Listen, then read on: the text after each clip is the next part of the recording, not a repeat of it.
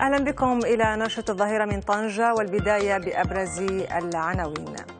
الملك محمد السادس يترأس اجتماعا وزاريا تمت خلاله المصادقة على مجموعة من مشاريع القوانين والاتفاقيات الدولية وتعيينات في مناصب سامية. في افتتاح معرض المغرب المعاصر بباريس. الرئيس الفرنسي فرانسوا هولاند يعرب عن حرصه على تقوية علاقات التعاون والصداقة والثقة بين فرنسا والمغرب ويحيي البعد الإنساني لروابط البلدين. أمام اللجنة الرابعة بالأمم المتحدة المغرب يأسف لرفض الجزائر إحصاء ساكنات ساكنة مخيمات تندوف وللسكوت الدولي على حرمان محتجزي المخيمات من حقوقهم الأساسية كحرية التنقل والتجمع والتعبير والحياة.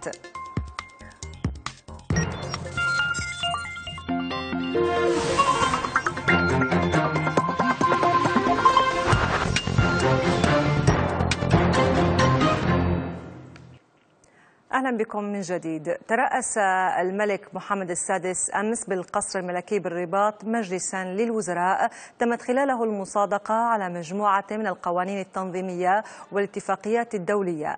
كما أكد الملك على ضرورة احترام نزاهة الانتخابات وعلى دور رئيس الحكومة في الإشراف عليها.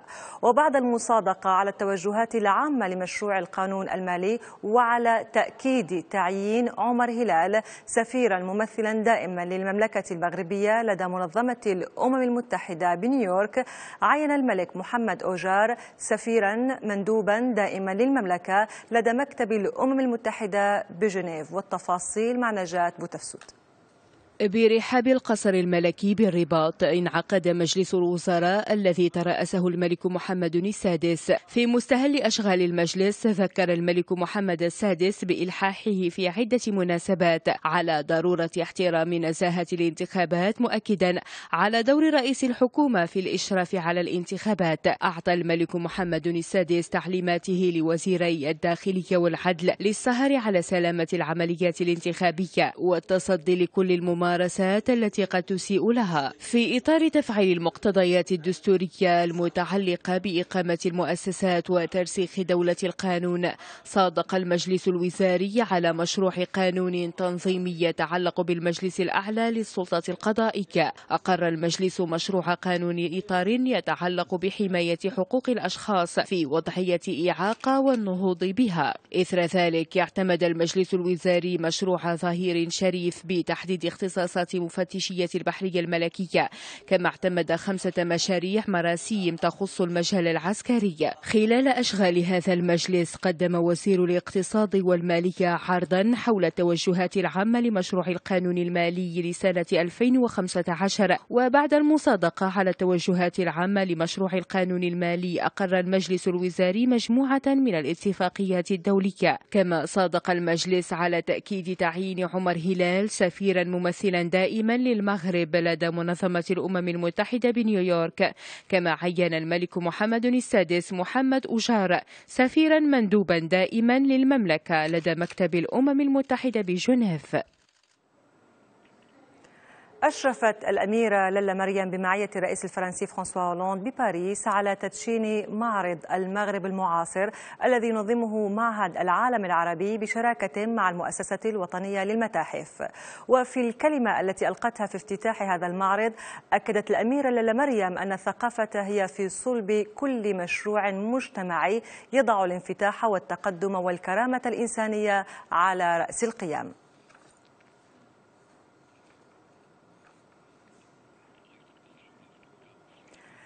هذا وكانت الأميرة للا مريم قد أشرفت بباريس أيضا على تدشين معرض المغرب الوسيط إمبراطورية من إفريقيا إلى إسبانيا الذي ينظمه متحف اللوفر بشراكة مع المؤسسة الوطنية للمتاحف وتحت الرعاية السامية للملك محمد السادس والرئيس الفرنسي فرانسوا هولاند. الأميرة للا مريم قامت مرفوقة بعدة شخصيات بارزة بزيارة مختلف أروقة المعرض الذي يضم أكثر من 300 عمل وتحفة فنية تعكس الإنجازات التي حققها المغرب خلال عهد المرابطين والموحدين في مجالات الهندسة المعمارية والخزف والنسيج وفن الخط وإنتاج الكتب.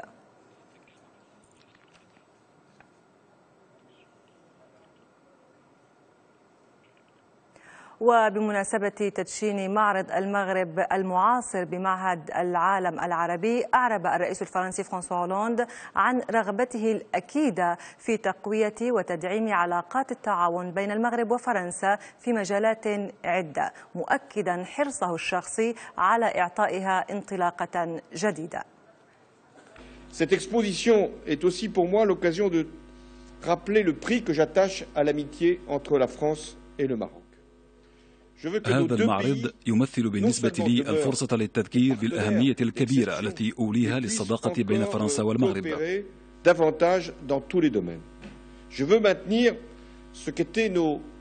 أريد لبلدينا ليس فقط أن يظل شريكين استثنائيين وإنما أن يستطيع التعاون أكثر في مجالات عدة.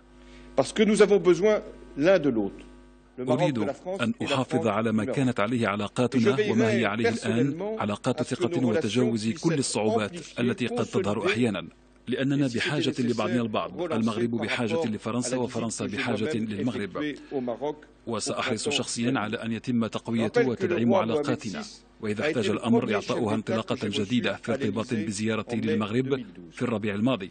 أذكر أن الملك محمد السادس كان أول قائد دولة استقبلته في الإليزي في ماي 2012 في صلب علاقاتنا هناك طبعا الاقتصاد لكن هناك أيضا العلاقة الإنسانية.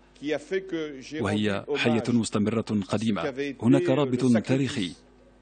حدا بي إلى أن أكرم تضحية المغاربة خلال الحرب العالميتين في القرن العشرين. ولم تكن فرنسا لتكون ما هي عليه الآن دون هذا الانخراط من قبل المغاربة. وكذا كثير من المغاربيين والأفارقة من أجل تحرير بلادنا. وهذا امتنان أريد هنا أن أذكر به. معرض المغرب المعاصر الذي يستمر إلى نهاية العام الحالي يعتبر تظاهرة فنية كبرى سيتم خلالها تسليط الضوء على الإنجازات الفنية والأدبية والحرفية للمملكة المغربية. والتفاصيل مع هاجر عابد في تظاهرة حضارية شاملة فتح معهد العالم العربي أبوابه في باريس أمام المقيمين في عاصمة النور من العرب والفرنسيين ولزوارها من مختلف الجنسيات مقيما واحدا من المعارض الكبرى. معرض شامل عن المغرب المعاصر تظاهرة تعرف بالإنجازات الفنية الأدبية والحرفية للمغرب. Ce projet est un projet qui met en lumière هذا المشروع يسلط الضوء على تميز المغرب المعاصر. مغرب حي مغرب عرف التنوع الثقافي من خلال مكوناته.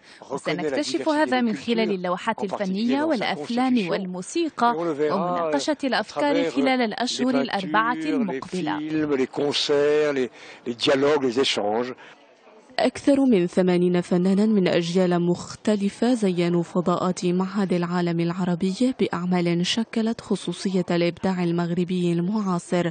أعمال صنعت مسلسلا فنيا للزوار إذ ينتقل الجمهور من الفنون البصرية إلى التصميم ومن الهندسة المعمارية إلى الفنون الشعبية وإلى الصناعة التقليدية ومن الموسيقى إلى الرقص والأدب والسينما مرورا بالموضة لتنتج لوحة منسجمة الألوان.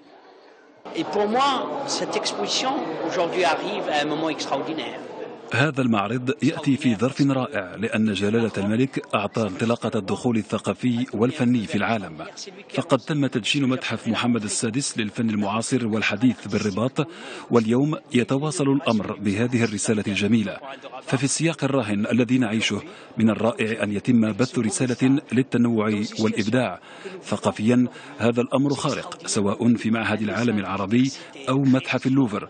والمؤسسة الوطنية للمعارض شريك في تنظيم معرضي المعهد واللوفر في آن واحد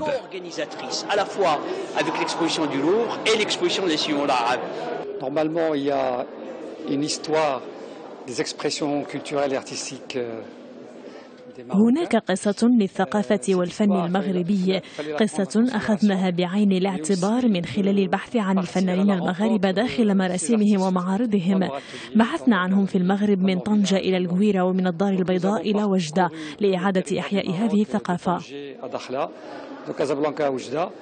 pour redécouvrir un petit peu cette vie culturelle. المعرض والذي يمتد على مساحة 2500 متر مربع صور كرحلة في الذاكرة وفي أعمال فنانين مغاربة. رحلة من دون حدود ينتقل من خلالها الزائر من موضوع لآخر ومن فنان لآخر. رحلة ستمتد على مدى أربعة أشهر ليسدل ستارها في الخامس والعشرين من يناير المقبل. أكد سفير المغرب بالأمم المتحدة عمر هلال أمس بنيويورك أكد أن المغرب يدين صمت المجموعة الدولية أمام الوضعية الخارجة عن القانون السائدة في مخيمات تندوف ويتأسف للسكوت الدولي عن حرمان الساكنة في المخيمات من حقوقها الأساسية كحرية التنقل والتجمع والتعبير والحياة.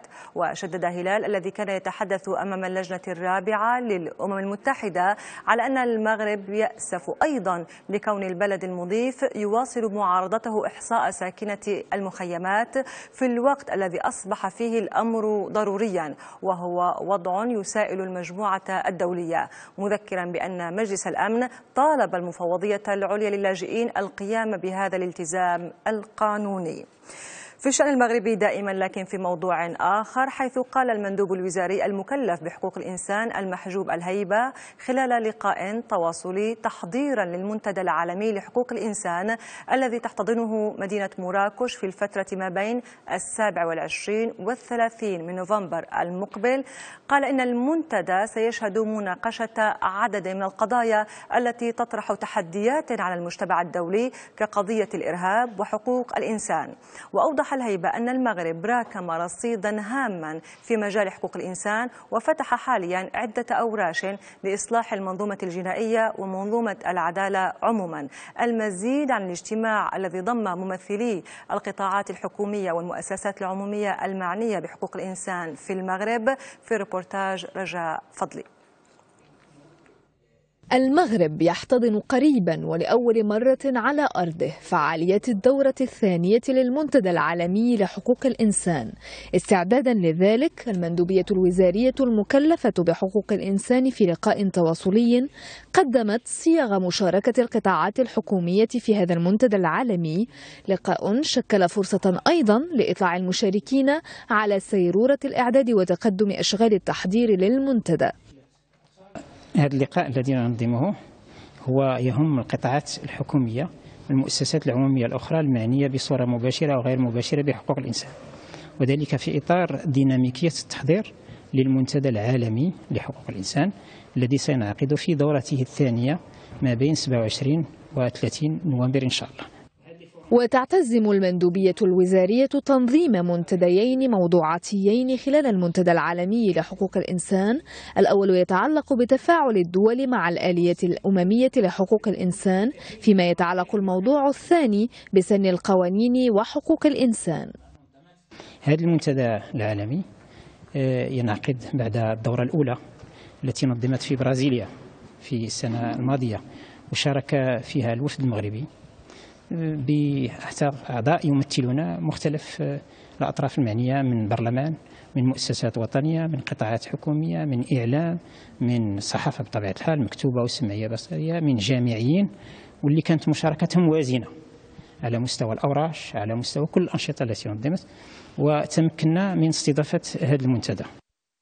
ويرتقب أن تحتضن مدينة مراكش بين 27 إلى 30 نوفمبر المقبل أشغال الدورة الثانية من المنتدى العالمي لحقوق الإنسان في سياق اعتراف دولي بالتطور الذي حققه المغرب في مجال حقوق الإنسان وانخراطه الدولي فيه واعترافا أيضا بما حققه في تعزيز البناء الديمقراطي ودولة المؤسسات. أكد وزير الصحة الحسين الوردي أمس عدم تسجيل أي حالة إصابة بفيروس إيبولا بالمغرب إلى حدود الساعة. وأبرز الوردي خلال جلسة برلمانية أن وزارة الصحة اتخذت مع المتدخلين المعنيين كافة التدابير الضرورية للتصدي لخطر هذا الفيروس. وبخصوص طلب تأجيل كأس إفريقيا للأمم المزمع تنظيمها بالمغرب سنة 2015 أبرز الوردي أن طلب الوزارة يستمد شرعيته من اللوائح الصحية الدولية وكذا من التدابير الاحتياطية التي اتخذتها بعض الدول في مثل هذه الحالات.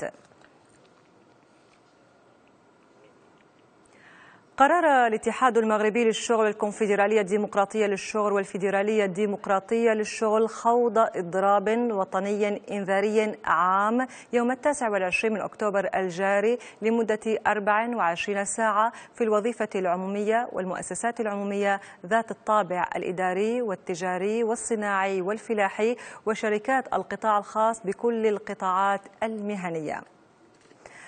أعلنت وزارة الداخلية أنه تم توقيف مواطنين مغربيين في مدينتي الحسيمة ووجدة يقومان بالدعاية لتنظيم إرهابي.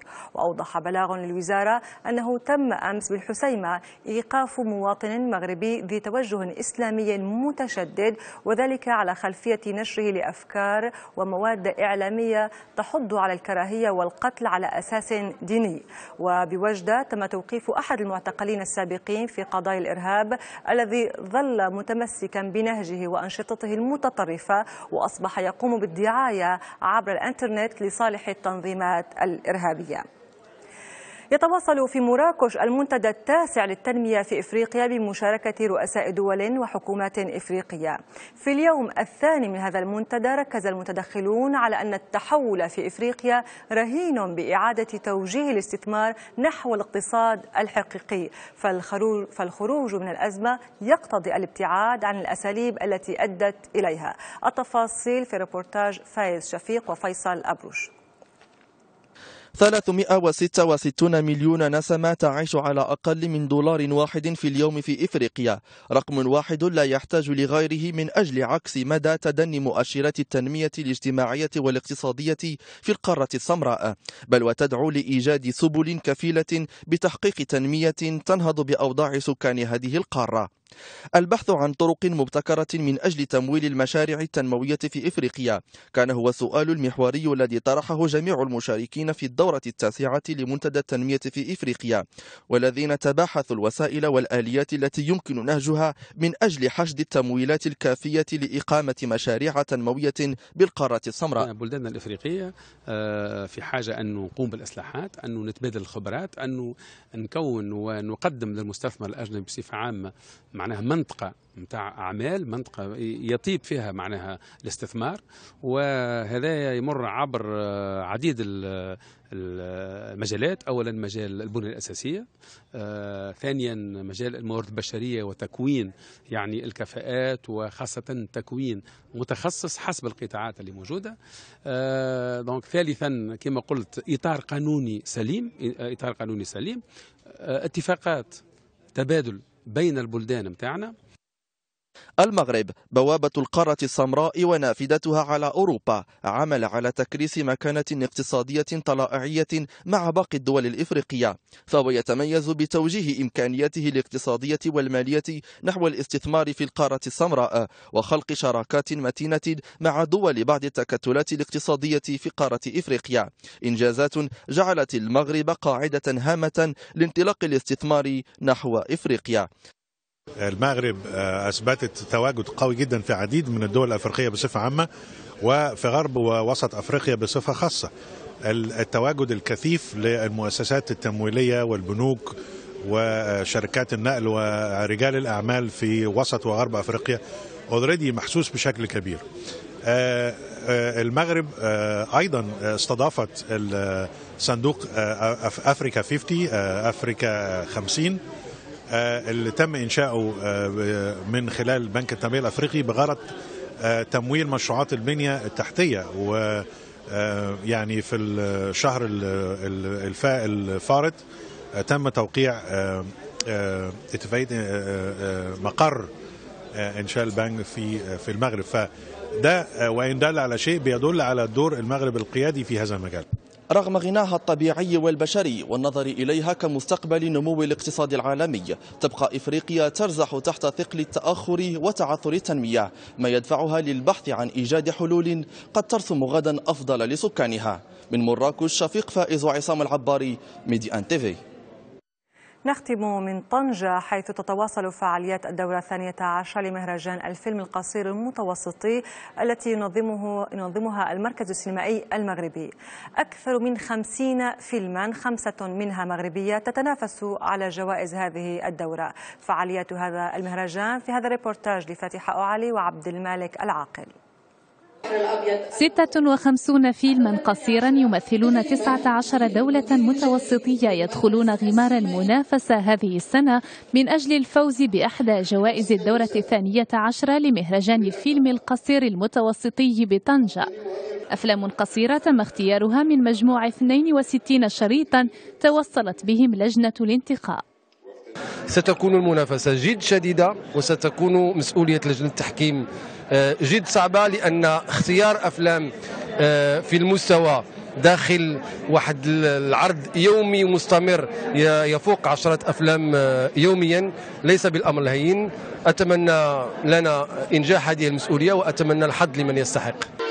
حفل افتتاح المهرجان تميز بعرض فيلم Black Screen للمخرج المغربي نور الدين الخماري الذي يعتبر هذا الشريط فسحة للتعبير عن هموم وانشغالات مبدعي الفن السابع في المغرب. لأن السينما المغربية كتطور دابا وغتطور encore plus donc c'est normal هاد الأفلام بحال هكا الأفلام قصيرة أو ال documentaire أو الروبورتاج اللي كيخلي أن المحترفين في السينما المغربية يهضروا. ويناقشوا ويقولوا شنو اللي عندنا المشكل فيه وشنو اللي نقدروا نديروا أحسن. دونك أنا بالنسبة لي هذا صحي آه، لأن أنا تنظن أن أحسن حاجة في أي مجتمع وفي أي مجال هو النقاش. خمسة أفلام مغربية تخوض غمار المنافسة وتتطلع للتتويج خلال هذه التظاهرة السينمائية الوطنية ذات الإشعاع الدولي التي تعد فضاء إبداعيا منتظما للتعريف بالمنتوج السينمائي المغربي والتعرف على الإنتاج السينمائي في دول البحر المتوسط. بعد قليل تتابعون جولة على أهم الصحف العربية والعالمية مع سحر بن سليمان للمزيد من الأخبار زوروا موقعنا على الإنترنت ميدان تحية طيبة لكم أينما كنتم.